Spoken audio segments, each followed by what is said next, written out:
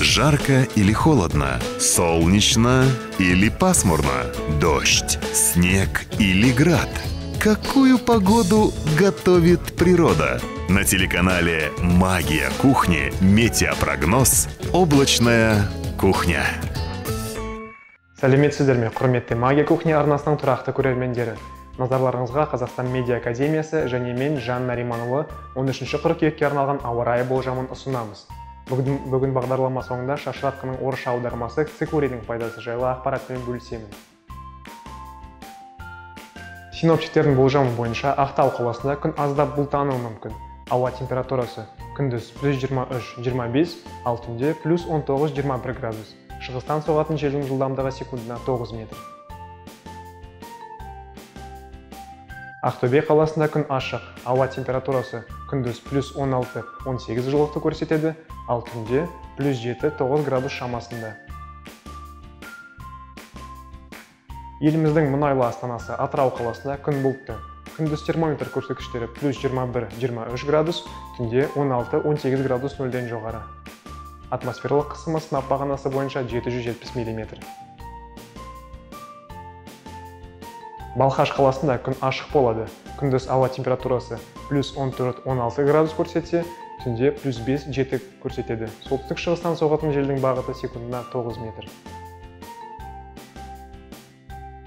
Балқаш қаласында күн ашық болады. Күндіз ауа температурасы плюс 14-16 көрсетсе түнде плюс 5-7 көрсетеді.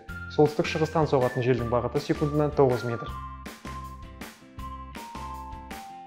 Ғарыш айлағы болып саналатын байқоңырда күн аз бұлтты болады. Күндіз плюс 19-21 градус түнде 9-11 жылықты көрсетеді. Геомагнитурасы бір қалыпты. Еліміздің мыстық қазынасы жезқазған қаласында күн ашық. Күндіз ауа температурасы плюс 13-15 түнде ауа температурасы плюс 4-6 градус. Еліміздегі ірі көмір алқабы қарағанды қаласында күн ашық. Ауа температурасы күндіз плюс 10-12 градусты көрсетсе түнде 0 плюс 2 градус. Тарихы бай қалалардың бірі көкшетауда күн ашық болады. Күндіз ауа температурасы плюс 14-16 түнде плюс 4-6 градусқа дейін түседі. Қостанай қаласында күн құбылмалы. Күндіз ауа температурасы плюс 16-18 түнде плюс 3-5 геомагнитурасы бір киелі қызылорда қаласында күн ашық болады. Ауа температурасы күндіз плюс 19-21 градусқа дейін көтеріледі. Ал түнде плюс 10-12 градус көрсетеді. Еліміздің солтүстігіндегі павлодар қаласында күн ашық.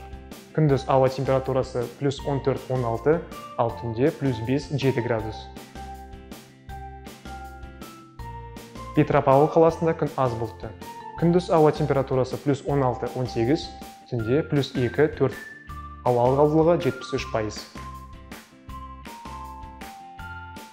ертіс өзенінің екі жағалауында созылған семей қаласында күн аз бұлтты жауын шашын күтілуде. Күндіз ауа температурасы плюс 16-18 градус түнде плюс 9-11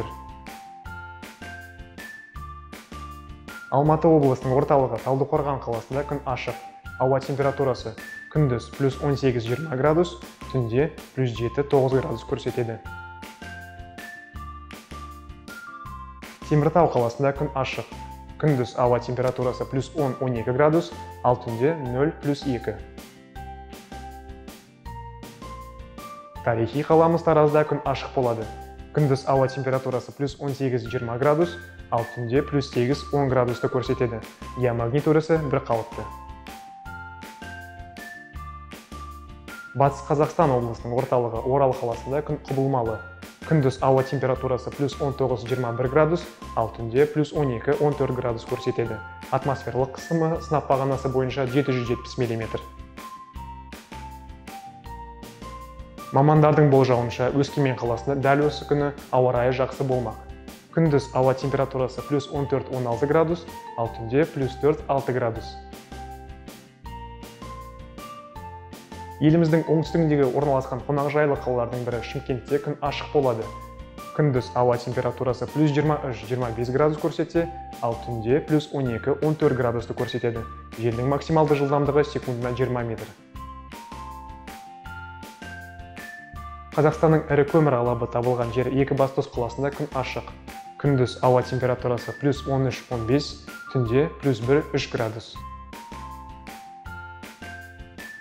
Алатаудың баурайында орналасқан ең ірі қаламыз. Алматыда күн аздап бұлттануы мүмкін. Күндіз ауа температурасы плюс 20-22 түнде плюс 7-9 градусты құрайды. Елордамыз нұр қаласында күн ашық. Термометр көрсеткіштері күндіз плюс 11-13 градус ал түнде 6-8 градусты көрсетеді. Я магнитудасы бір қалыпты ауа райы қандай болса да жайлы киініп дұрыс тамақтануға кеңес береміз. Егер таңғы асыңызда ашқарынға бал мен лимон қосылған шашыратқыш ішсеңіз ағзаңызда гипертония дамымайды. Халықтық ем шара ретінде тамырының қайнатындысы мен шөбінің тұнбасын гепатит пен сары ауру кезінде асқазан және тоқ жараларына аллергияға көкбауыр ісігінде қарсы ем ретінде қолданады. Гүлдерінен жасалған тұнба орталық нерв жүйесін тыныштандырып жүрек қызметін күшейтеді. Соғыс жиілігін ретке келтіреді. Шөбінің тұнбасы мен тамыр қайнатпалары қандағы қант мөлшерін төмендетіп қант ауруымен ауыратындарға табиғи дәрумен ретінде қолданады. Сіздер үшін ауа райы болжамын ұсынған қазақстан медиа академиясы және мен жанна риманұлы. Келесі кездескенше сау болыңыздар. Казахстанская медиа академия.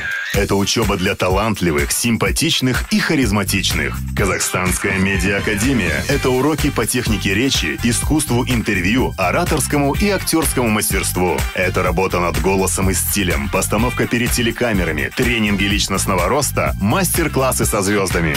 Это настоящие съемки и зрители, которые увидят вас в настоящем телеэфире. Казахстанская медиа-академия. Стань медийной личностью.